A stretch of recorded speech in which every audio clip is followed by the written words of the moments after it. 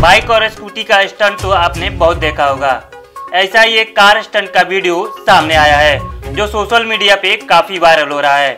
दरअसल ये car stunt का वीडियो मध्य प्रदेश के इंदौर का बताया जा रहा है, जो सोशल मीडिया पर तेज़ी से वायरल हो रहा है। वीडियो में साफ़ देखा जा सकता है कि युवक कार लेकर आता है और सिक्का स्कूल चौराहे पर कार चालक बार बार अपनी मर्सिडीज को घुमाता दिख रहा है। जैसे ही ये वीडियो सोशल मीडिया पे वायरल होने की शिकायत पुलिस के पास पहुँची, तत्काल पुलिस ने आरोपी के खिलाफ कार्रवाई की और गाड़ी को जब्त कर लिया।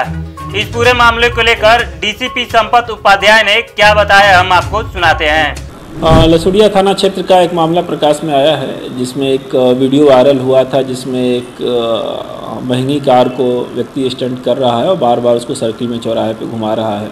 यह जो कार्रवाई है, ये निश्चय ही आम जनता के नुकसान करने वाली है और इससे कोई भी ऐसी घटना हो सकती थी जिससे व्यक्ति को जान माल का नुकसान होता। उक्त घटना को दृष्टिगत रखते हुए उस वीडियो फुटेज के आधार पर वो लोकेशन ट्रेस की गई जहाँ की ये घटना थी और वो गाड़ी भी ट्रेस की गई और इसमें धारा 279 आईपीसी का एफआईआर दर्ज किया गया है और आगे की वैधानिक कार्रवाई की जा रही है। गाड़ी फ़िलहाल जब्त होकर थाने पर है और आगे की कार्रवाई की जा रही है।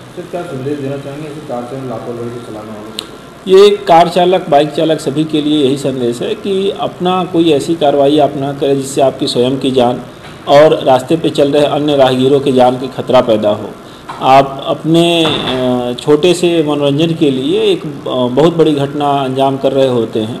थोड़ी भी इसमें गलती हुई, कोई ऊँच नीच हुआ, कहीं से कोई आ गया, कोई बुज़ुर्ग आ गया, महिला, बच्चे आ गए, या कोई ऐसा वाहन वाला आ गया जो खुद को नहीं रोक पाया तो बड़ी घटना हो सकती थी। एक कहावत है कि जो स्पीड है वो थ्रिल करती है और स्पीड किल्स तो दोनों चीज़ें हैं, इसलिए आपको नहीं करना है और कानूनन भी एक अपराध की श्रेणी में आता है और निश्चय ही इस चीज़ से लोगों को दूर रहना चाहिए।